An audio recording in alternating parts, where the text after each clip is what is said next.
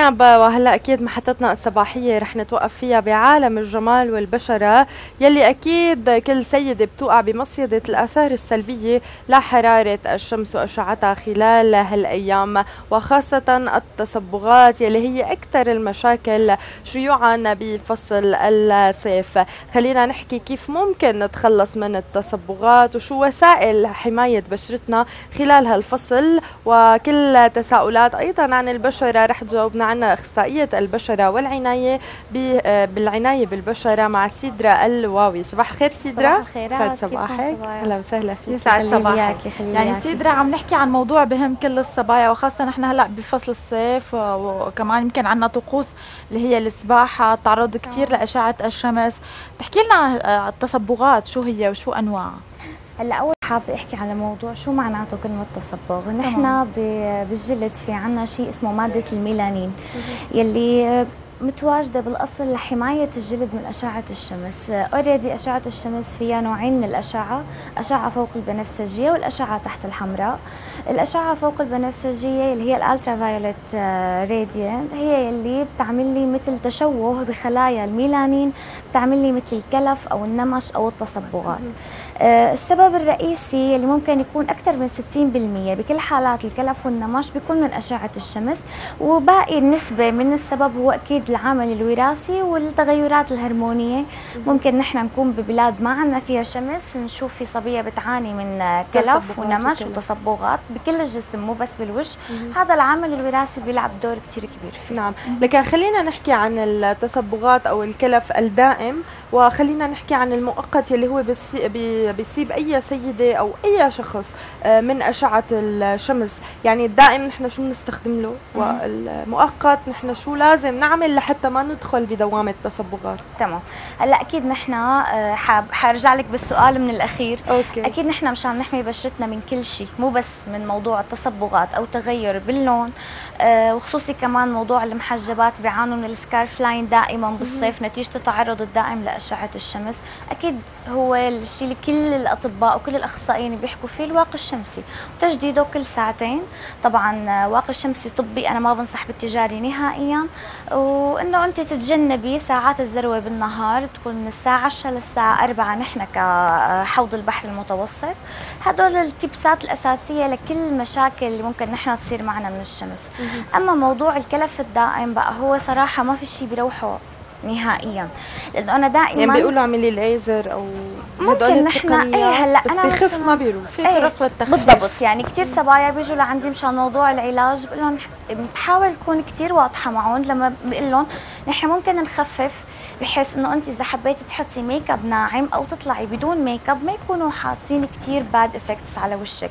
بس أكيد ما فينا نروح شيء لأنه بالنهاية أنت طبيعة جلدك كثير بتمتص اشعه الشمس وفي عندك فرط إنتاج بمادة الميلانين بالوش طيب سيدرا يمكن عم نحكي عن واقي الشمسي قد إيه نسبة الحماية اللي لازم تكون موجودة؟ وهل بتنصحي إنه اللي موجود بالسوق اللي بيكون معه fond أو بتنصحي إنه يكون طبي؟ لأنه في كثير تساؤلات عن هذا الموضوع. حتى في طبي مع فونديشن. إيه, إيه هلأ أكيد الطبي مع foundation أحسن بكثير من الطبي بلا foundation. هلأ نحن آه مثل ما قلت نحن آه صبايا الموجودين منطقة حوض البحر المتوسط آه معظم بشراتنا تكون طبيعية مزيتة. وبالأصل واقي الشمس هو فيه كثير نسبة كبيرة من ال wax اللي هو شمع النحل بيكون.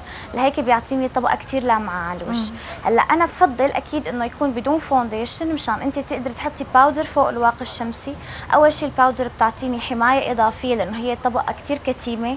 كثير بتحمي من أشعة الشمس.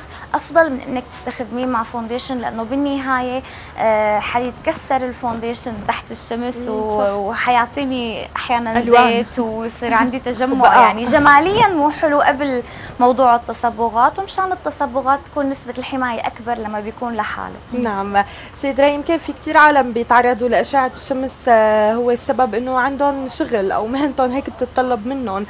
شو بتنصحي كل السيدات أو إذا بتعطينا أفكار لماسكات يمكن نحطها بآخر الليل أو بس في يعني نبورد البشرة شوي لأنه بشرة كثير حساسة وهي لازم كثير نهتم فيها طبعا. هلأ أهم عامل هو عامل الترطيب والعناية وتنظيف البشرة. ممكن نحن يصير عندنا كمان كلف وكلف ونمش وتصبغات نتيجة الاستخدام الطويل للواقي الشمسي وعدم تنظيفه قبل النوم. بصير في عندنا تراكم كثير زيوت ودهون على البشرة. تصير البشرة بتمتص نسبة كبيرة أكثر من أشعة الشمس. آه، ماسكات آه، ماسكات طبيعية طبعا بحر. إذا بنفوت فيه ما بنخلص خاصه هلا بالصيف في عنا كثير يمكن. بالضبط بس هلأ نحن موسم الفواكه يعني في عنا كل أنواع الفواكه كثير يعني كل شيء بناكله نقشره بالضبط يعني هي فكرة كثير حلوة. ممكن الشاي الأخضر هو انتي اوكسيدنت كثير مهم كثير بنشط البشرة وبيساعد على تصريف السموم من الجلد كثير بيعطي بيساعد البشرة على مقاومة الشمس. يعني ما في شيء ببورد بخليها ما تكون كثير حامية لبشرتك اللبن والنشا هذا ستاتنا كلها نحطوا لنا إياه وأكيد نحن كمان نستخدمه هو اللبن حمض اللبن هي مادة مجددة للبشرة وكل الكريمات العالمية إلا ما تستخدمها. كثير مادة مهمة. سيدرا يمكن كمان خلينا نحكي شوي عن الأخطاء الشائعة اللي بتشوفيها عند الصبايا يمكن كمان استخدام شغلات غلط ما بيصير يستخدموها. والشغلات اللي ممكن تصححي لهم إياها وخاصة ممكن آه، يعني أنا قريت مرة إنه مثلا الصابون مضر للبشرة فشو صحت كمان هذا؟ هلأ أنا كثير حكيت بقصة الصابون وما بمل من الحكي منها. التركيبة يلي يلي بتخلي الصابونة بقوامها آه، أكيد هي تركيبة قلوية بحتة. وهذا الموضوع آه، بيأذي الحاجز الدهني المائي للبشرة بينشفها بيعمل مسام آه، بصير كل شيء بتحطيه على وشك فيه امتصاص أقل وبيخرب طبيعة البشرة وبيعمل شيخوخة مبكرة.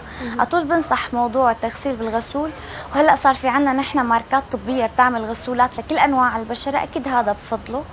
وبدي أحكي موضوع أنا يعني كل الطريق عم بقول بدي أحكي هي النقطة إيه، إنه please صبايا ما تحطوا أي كريم whitening على الشمس. نهائيا أي كريم بيكون مكتوب عليه مبيض للبشرة ما تحطيه تحت الشمس بتصيري سوداء. لأنه يعني فينا نحطه على المسبح؟ بض... لا نعمل برونز بصير ممتاز. هيك okay. بس عن جد كثير مهم هذا الموضوع. أي كريم whitening بستخدم بالليل حصرا وبتغسليه الصبح قبل ما تفيقي. وأي كريم مقشرات كريم الحب. دائما المساء. حتى المعقم ما تحطيه وتطلعي فيه على الشمس. مرمم البشرة البانتينول لحاله تحطيه وتطلعي فيه على الشمس. هي كلياتها بتزيد من امتصاص الجلد للشمس وبيقلب عندي بالعكس أحيانا. في كثير صبايا احترق وشهم من كريمات التبييض لما طلعوا تحت الشمس. نعم. سيدرا يمكن عفوا في كثير من الأطباء وفي كثير من الأخصائيين البشره آه، بيبتعدوا عن تنظيف البشره وخاصة بفصل الصيف لأنه يمكن تجديد البشرة وتطلعي على الشمس آه، كثير مضرة. آه، شو فينا نحكي بهذا الخصوص؟ أو شو فينا يمكن نعطي حلول بديلة لتنظيف البشرة؟ هلأ تنظيف البشرة هو ما يعني تقشيره. نحن في عنا كثير فرق بين تقشير البشرة. أكيد هذا الموضوع ما لازم أي صبية تبلش فيه إلا بعد الشهر 11 آه، ضروري إنه نحن نعمل تجديد لبشرتنا حسب النسبة بترجع للعمر وللمشكله حصرا بنبلش فيها من شهر 11 لشهر 2 بس. أما فينا نحن نعمل تنظيف على مدار السنة. آه كل أربع يفضل بعد الدورة الشهرية بثلاث أيام للصبايا. يكون في عندي أنا تراكم كثير جلد ميت ورواسب على البشرة من الدورة الشهرية لأنه نحن أصلا دورة الجسم تتباطأ بهي, بهي الفترة. آه ممكن يكون تنظيف كثير ناعم تجديد للبشرة المساج الماسكات اللي بتنحط كثير مهمة. أبدا ما أنه مضر التنظيف التقشير هو المضر. نعم. طب هلأ مثل ما حكينا يمكن سيدرا آه، فصل الصيف وفصل السباحة وفصل أيضا تعرض لأشعة الشمس. شو بتنصحي كل البنات حتى اللي بدهم يحاولوا إنه يعملوا برونزاج أو يغيروا لونهم. كمان هل في في عندك خلطات طبيعية؟ في أخطاء شائعة كمان بهذا الموضوع؟ طبعا ما ما في أخصائية بشرة بتقول اعملي برونزاج. مستحيل. هلأ ممكن يعني تعرض لأشعة الشمس. أنت إيه أكيد تحط شابو. أكيد تستعمل واقي شمسي. أنا ضد إنك تعرضي وشك للشمس بشكل مباشر. ممكن أنت تحطي فونديشن لون غامق. جسمك فيك تتصرفي فيه بأي طريقة لأنه أصلا آه، جلدة الجسم هي أسمك من الوش بكثير بقى عندها قدرة على إنه آه، تحمي حالها أو تقاوم. أما الوش كثير بتأثر. يعني كثير بقى. أنا ماني مع ابدا إنك تعملي لون أو تنصحي فيه للسولاريوم؟ حطي بشكير على وشك إذا أنت بقلب جهاز السولاريوم. حطي بشكير واعملي سولاريوم لجسمك. ممكن أنت بال foundation تتحكمي باللون. ما في صبيه ما بتطلع بلا foundation أو powder أقل شيء. بس إنه تستخدمي آه، الفازلين أو ال carrot أو أي شيء مشان تحطيه وتغمقي وشك على الشمس. هذا كثير شيء مضر. تحت ال 20 30 ما حيحسوا. بس بس يقطعوا عمر معين حيكتشفوا إنه وشهم ره وشهم رهل بطريقة فظيعة. ليش؟ إنه أنت بالأصل قتلتي كل حاجز الكولاجين بالوش صحيح. سدرا خلينا شوي نحكي آه، عن موضة البوتوكس وال filler. آه، يعني بس تروح من الوش بنلاقي البشرة كثير تعبت. البشرة يمكن عطت عمر أكثر من قبل. فخلص متى بيقولوا تورطتي بالبوتوكس وال filler خلص بدك تكفي أو البلازما بدك تكفي بهذا الطريق. آه، خلينا نحكي كمان عن هذا الموضوع. شو حلوة أسئلتك أنت. هلا في فرق كثير كبير بين البوتوكس وال filler. آه، البوتوكس هو عامل وقاية من تقدم بالسن. ابدا ابدا البوتوكس ما ورطة ابدا ما بينزع الوش. أنا من الناس المناصرين جدا لهذا الموضوع وبنصح كل صبية قطعت سن ال 30 حتى لو ما أنا شايفة إنه في عندها آثار أو تجاعيد أو خطوط تعبيرية تبلش فيه معلش لأنه أنت عم تمنعي وشك من إنه آه، يتجعد ال filler هذا خيار تجميلي. البلازما هو مجدد للبشرة بس البلازما فيه point إنه آه ما بيضل بالجلد فترة طويلة. يعني صراحة أنا ممكن أعمل بلازما آه لحضرتك أو لحضرتك خلال 20 يوم النتائج تكون راحت. أوه. لأنه بالأصل هو مأخوذة بلازما الدم جسمك بيصرفها بسرعة وبيستهلكها وبيعتبرها منه بقى ما بتضل. يعني هلأ آه، بتنصحي أنت بالأشياء الطبيعية أكثر من الأشياء يعني مثلا مثل البلازما وهالقصص بتنصحي بالماسكات الطبيعية مثل ما قلنا في فواكه في يعني إنه مثلا هو الواحد عم ياكل في إنه مثلا يعمل أي شيء بوشه. آه كمان بدي أسألك إذا آه إمتى بتنصحي مثلا أي صبية كان عندها مشكلة البشرة تروح عند طبيب مختص؟ هلأ أهم شيء إنها تروح عند طبيب مختص أو أخصائي لأنه آه انت قد ما حاولتي إنك تحددي نوع بشرتك صعب عليكي. آه طبعا في عنا هلأ مواقع التواصل الاجتماعي عم تعمل أغلاط كثير كبيرة من هي إيه. الناحية. صبية استعملت شيء معين كل الصبايا بيستعملوه خدي بقى صلحي من وراها. كثير مهم إنك تروحي عند طبيب بعد ما تقطعي سن 18 وإذا انت بمرحله المراهقة عندك مشاكل مو غلط تستشيري. آه على القليلة انت تتعلمي كيف تعتني ببشرتك كيف تنظفيها. مو شرط انت تاخذي آه يعني علاجات جمالية نهائيا ممكن يكون كريمات طبيعية وممكن أحيانا الأخصائي ينصحك بأمور من المنزل انت. تستعمليها نعم. سيدرا خلينا نحكي عن المية اللي هي الدواء الأقوى لجميع الأمراض ولكن للبشرة هي الراعي يمكن بالضبط. الرسمي. بالضبط. خلينا نقول آه، خلينا نحكي عن المية عن فوائدها وخاصة بفصل الصيف. هلا أه سمعتوا كثير اشربي من 8 ل 10 كاسات مي بالنهار على مدار الساعة يعني مو ورا بعض أكيد. وكمان أنا كثير آه، حبيت برمضان إنه أنصح الصبايا. إنه اشربي مي كثير لأنه كثير الوش بيتعب. المي أول شيء مصرف للسموم. آه، تدخل تركيبة الجلد أكثر من 80% آه، مادة ال hyaluronic acid والكولاجين ما بتتشكل ما بتنتج غير بوسط مائي. لهيك أنت حتى لو عندك لسه إنتاج كولاجين وما عم تشربي مي بقى ما حيظهر هذا الشيء على بشرتك. بتساعد على تسكير المسام وبتساعد كمان التعرق نحن هلأ فصل الصيف بصير عندنا تعرق. التعرق هو وسيلة لحتى الجسم يعدل درجة حرارته ويحمي حاله من أشعة الشمس بشكل طبيعي. فانت وقت اللي عم تعرقي وخصوصي هلأ بفصل الصيف ونحن بلشنا ترتفع درجة حرارة كثير صارت سيئة. بدك تزيدي انت كميات المي بشكل تدريجي يعني كرمال صحتك جسمك أعضائك الداخلية وكرمال البشرة. وما بيخلص يعني يعني فوائد المي قد ما حكينا فيها ما بنخلص صحيح. سيدرا آه، شو هي البشرة الأكثر آه، تعرض للتصبغات والمشاكل؟ يعني نحن بنعرف في أنواع للبشرات فشو هي البشرة اللي لازم نعطي فيها أكثر حتى فعلا آه، نكون في عنا وقاية من أشعة الشمس؟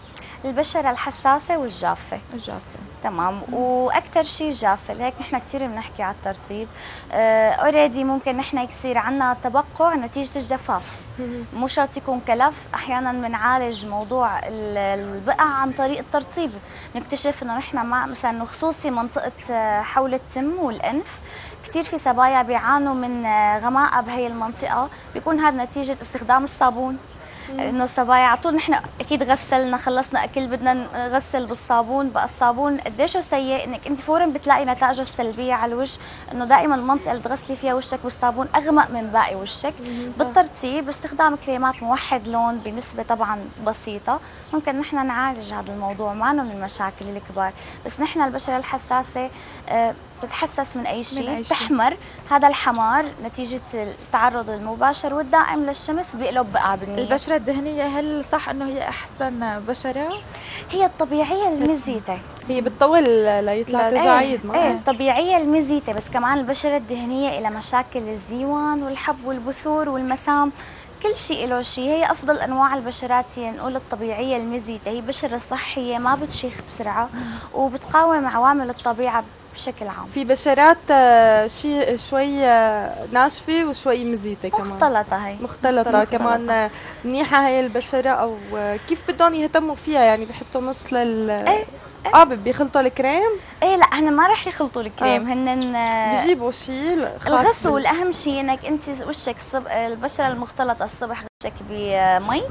إذا أنت بتعاني من مختلطة يعني قصدي خدود جافة وجبين جاف وأنف وتي زون دهني غسلي بالمي بعدين استخدمي غسول بس لمنطقة التي زون نعم. أكيد شو بتنصحي هلأ كل صبيه أو سيدة عم تشوفنا؟ آه، نصائح هيك خفيفة تقولي لها إياها بفصل الشتاء وبشكل عام للبشرة. آه، أهم شيء إنه تنظيف الوش بالميك أب كثير بنحكي بهذا الموضوع. أه ترطيب الترطيب والترطيب والترطيب واستخدام الواقي الشمسي هدول أسلحتك لتقاومي الشمس وعوامل التقدم بالسن اللي كلاتنا بنخاف منها. وإن شاء الله بنضل كلاتنا حلوين وصبايا. إن شاء الله. أكيد يا سيدرا. أكيد نحن كثير بدنا نتشكرك وكثير بدنا نتشكرك على كل النصائح يلي قدمتيها للسيدات وللاهتمام بالبشرة. سيدرا الواوي شكرا كثير لك واهلا وسهلا أهلا وسهلا شكرا لك يا سيدرا على كل النصائح اللي أعطيتينا إياها. شكرا لك